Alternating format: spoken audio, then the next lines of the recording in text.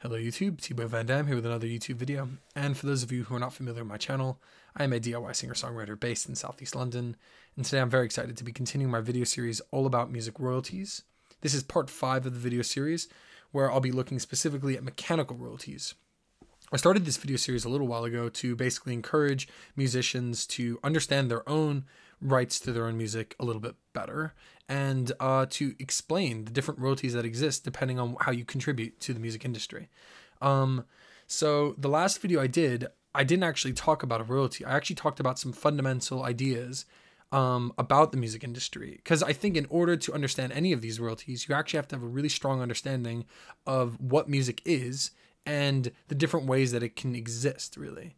Um, specifically, I was talking about this key idea, which is the idea of authorship rights versus recording rights, because ultimately, every anything music musical or anything that is music either has to be written by someone or it has to be recorded by someone. These are the two ways that music gets used in our society um, so this is important to take note of and i would say that if you didn't see that video or if you don't understand this idea more clearly then i would encourage you to go check out part four of the video series um, and this is because I went into a lot more detail. I really worked to like try to explain this. It's a bit messy, but there's a lot of chapters and stuff which help sort of break it down and make it easier to understand. So um, today I'm going to be looking at mechanical royalties and mechanical royalties. The reason I divided mechanical royalties, the, the reason why I did this part four thing and everything, try to break it down, was because the third video I did, part three, I was looking at something called the mechanical streaming royalty. So there's this complication basically. There's a mechanical streaming royalty and then there's a mechanical royalty. And I was struggling to kind of differentiate the two and explain the difference. And the difference really boils down to a fundamental difference. And it, and it's that key idea I described. So today I'm going to because I did that video, I'm going to be following a much more simple structure. I'm going to be looking at the type of royalty we're looking at. I'm going to be talking about where does the money come from? And then I'm going to talk about what makes you entitled to it um, different organizations you can join to claim this royalty. And along the way, I'm going to be ironing out some of these questions like what is the difference between mechanical streaming royalties and mechanical royalties? What is that difference? And also, why would you maybe not want to be your own publisher? Why would you not want to claim that right? So, there's a lot to get through, but I've written some pretty clear notes and there are chapters and stuff that you can follow. So, hopefully, it'll be easy for you to follow along. Um, the last thing I need to say before getting into this is that, you know, all this information in this video is based on my own experience and research. So I might make a mistake, I might leave something out. And if I do, please write something in the comments below because I'm looking to improve, I'm looking to help people, I'm looking to learn. You know, um, also, if you do enjoy this video, write something, you know, let me know if you are liking this kind of content. And then lastly, you know, like this video and then subscribe. Subscribe, especially if you want to stay in the loop about the new royalties I'll be talking about. So, all of that out of the way, let's get into it. So today, this is the type of royalty we're looking at. We're looking at mechanical royalties. Specifically, this royalty is understood in that category between authorship rights and recording rights. Mechanical royalties are author rights, and they're specifically allocated, they're given to people that in authorship are identified as publishers. So in order to get this royalty, you have to be, in order to be eligible, you have to be a publisher of your own music. So you could also be a lyricist, a composer, or an arranger. That's also considered authorship. And that's a far more musical way of thinking about authorship, right? You know, it's like you wrote the words to the song. Well, okay, that's fairly musical. Or let's say you wrote the melody. You know, very musical idea here. These are the musical elements of authorship. But a non musical element of authorship is actually publishing. If you are a publisher, it's probably the least musical thing you could do with music. However, publishing is your inherent right as a songwriter to to be your own publisher. It's your inherent right to be your own publisher if you've written a song. And this is because you've created this thing and so it's only natural that it's your own right to try to promote and monetize it. And that is what music publishing is. Music publishing is the business of promoting and monetizing your music. And so this is a weird thing because basically musicians and specifically songwriters are acquiring this music this right to be their own publisher but they're not really truly publishers. And I'll talk about what I mean by that in a little bit later. You know, like a little bit later, I'll get into some detail. But for now, we're just talking about the type of royalty. So to continue this idea, so just recapping, mechanical royalties, the ones that I'm talking about today, are authorship royalties, and they're afforded for publishers. And why is it called a mechanical royalty? And really, let's try to iron out this question mark about what is the difference between mechanical streaming royalties and mechanical royalties. So to answer this, basically we have to address the fact that all all mechanical royalties whether they're earned from you know the streaming royalty or whatever you know both of these royalties are earned in a context specifically when music is being mechanically reproduced. So what does this mean? So what does it mean to mechanically reproduce something? So mechanically reproducing music i mean in the music industry is basically referring to um it's basically referring to this uh idea of you know the ability to be able to either play a song over and over again or to be able to let other people play a song over and over again. So who really fits into that idea in the music industry? Well the people that fit into that are streaming platforms and also digital stores. These are the people that are basically uh, offering this to people you know stream this song but you know St- spotify didn't write the music so they need to be able to uh, acquire a license to do this. And then this is how mechanical royalties are actually earned through licensing. So then we have to ask this other question. And I think that this will really super iron out the difference between mechanical streaming royalties and mechanical royalties, which is that, you know, what is music? Well, all music is either written or recorded.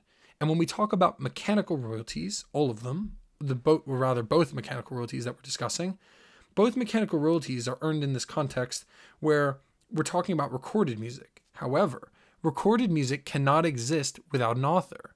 You, I, I, I, I challenge you, I dare you to imagine a song that has no author but is also recorded. You know, and and it's a weird thing to think about. But anything that's ever been recorded is authored by somebody. Sometimes it's the person that recorded it. Sometimes it's not. Um, and so you end up opening up this this uh, can of worms, this can of weird situations. For instance, there are songwriters who write songs that never record their own music. And instead, what they do is they sell their written music to pop artists. And pop artists make big hits and they make lots of money. But what ends up happening is the pop artists become the recording rights holder.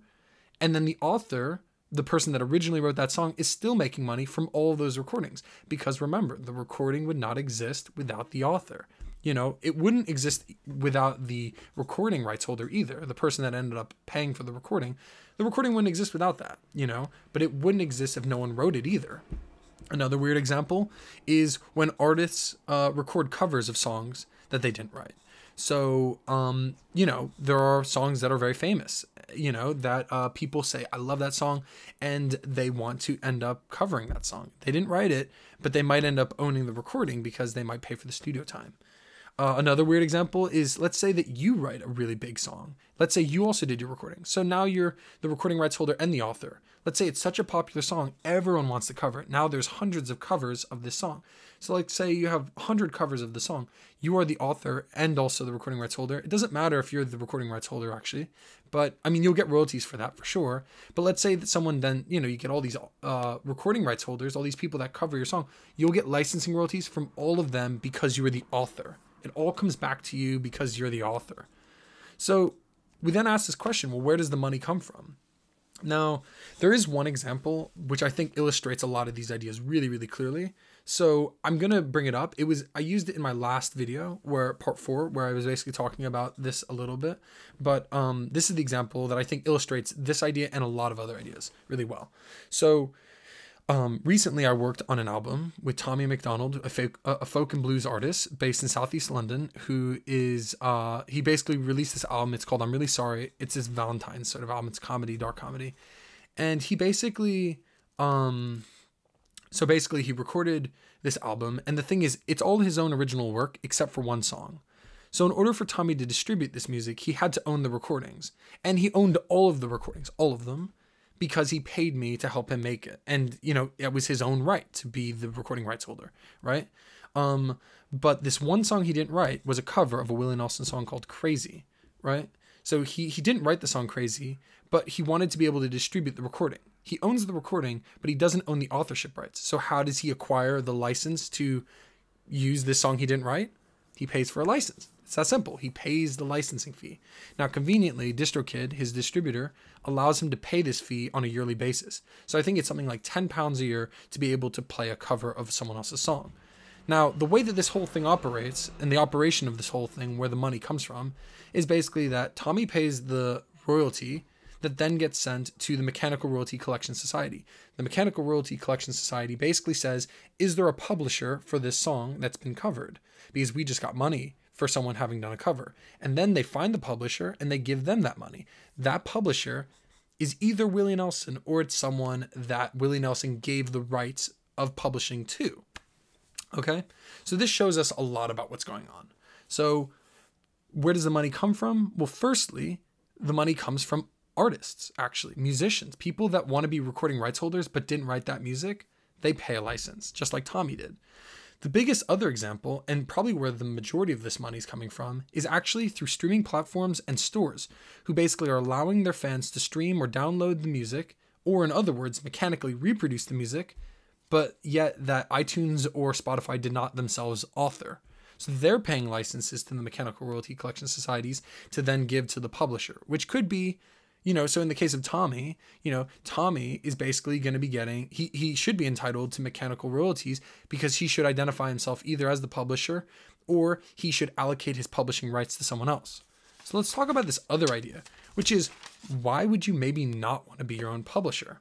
So now we talk about publishing and, and, and entitlement. So this is really under the broader spectrum of entitlement, which is you need to identify yourself as your own publisher. So you write your own song, you're inherently your own publisher, but you don't you can't just start going to the rooftops and being like, "I'm my own publisher." You can't do that and start getting this money. You actually need to basically identify yourself as a publisher through a professional institution. Um however, there are some reasons why you wouldn't want to do this, and I've written two of these reasons down.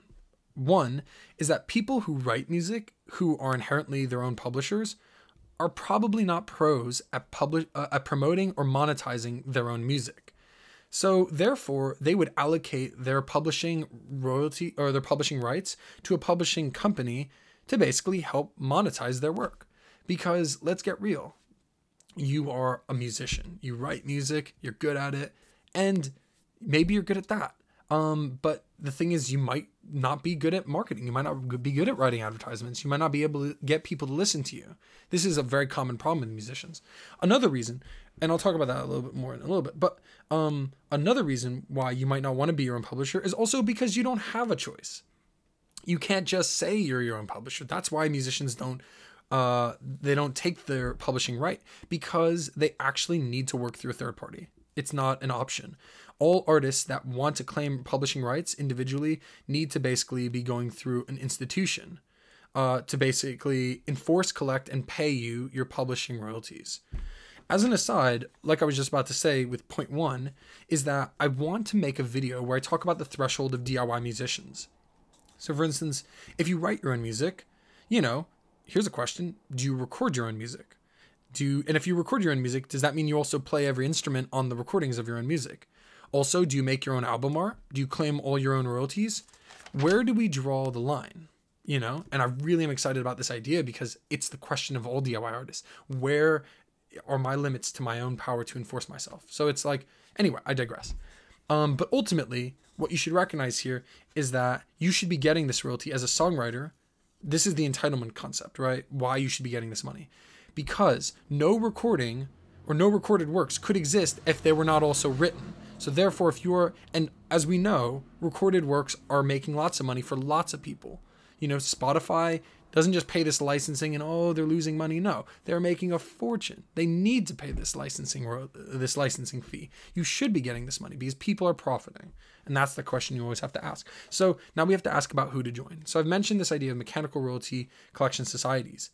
Now, um, you need to basically do a few things to identify yourself as this publisher because this is what we're saying. You have to identify yourself as a publisher. So, firstly, you need to prove that you have the right to be your own publisher.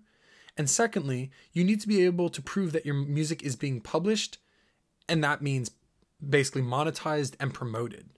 So, how does this play out in real life? So, in England, um, you basically would want to join an institution called MCPS. MCPS is an authorship royalty society basically. They're a little bit like prs they actually work really closely together now because they both defend authorship royalties um, and authorship rights. But basically they're slightly different because prs only collects for songwriters and mcps collects for publishers which is what i've been talking about this whole video. But to join mcps you would have to pay 100 pounds. You'd have to send id which is proof of you know who you are. But then you'd have to show proof of usage so proving that your music is actually being used on spotify or, or promoted The US system is a little bit different. The organization that collects and enforces and would pay you these royalties would be the Harry Fox Agency. So Spotify, for instance, is paying a licensing fee to MCPS in the UK, but for people that are streaming in the United States, they pay that licensing fee to a group called Harry Fox Agency. And DIY artists are not actually able to join Harry Fox directly. You have to work through a publishing administrative company or a label. So it's not really convenient, but the only way to do it would be to work through Songtrust. I will do an entire other video where I talk about Songtrust because Songtrust actually does a lot for their artists, but it comes with a fee. So the idea is ultimately, in order to get this royalty, you have to join an institution, and you'll either pay a hundred dollar fee or something like that, you know, because it costs a hundred bucks to join Songtrust, and then both Songtrust and MCPS are taking a ten to fifteen percent royalty. Um, so uh, a ten percent, ten to fifteen percent administrative fee of your royalties, rather. So you got to bear all this in mind. That just about covers everything I wanted to discuss in this video. It was a dense video, and I congratulate you for getting through it. I'm amazed that I've even done it. I've done maybe like 10 versions of this video now. But anyway, thank you so much for watching. If you found this interesting, if you found this helpful, please like, please subscribe to my channel. It means a lot. It definitely motivates me to make new videos. And, you know, I'll be making another video soon where I talk about another royalty. Um, but let me know sort of other content that you want me to talk about. I'm really excited about exploring this idea about the limits of DIY uh, artists. So, um, you know, that's something I'll probably do soon. So, yeah, subscribe and stay tuned. I'll see you at the next video. Ciao for now.